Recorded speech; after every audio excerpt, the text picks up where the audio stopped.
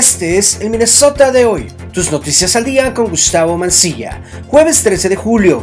El estado de Minnesota demanda a CenturyLink por anomalías en cobros de servicios.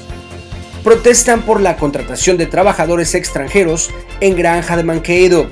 Familias piden a legisladores salvar programas de salud. Bala perdida en St. Paul penetra en hogar casi hiriendo a menores. Un nuevo defensa neozelandés llega a Minnesota.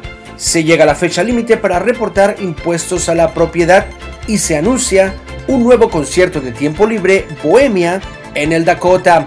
Encuentra más noticias, reportes, artículos de interés visitando diariamente el minnesotadehoy.com. Información veraz y oportuna para la comunidad hispana de Minnesota. El minnesotadehoy.com es presentado por la campaña Decimos No Más y por Invergrove Toyota.